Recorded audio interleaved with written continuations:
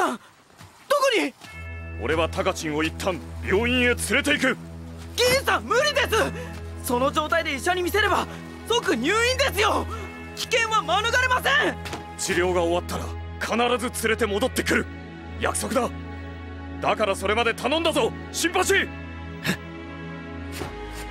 さんそこ泌尿器形成外科なんですけど。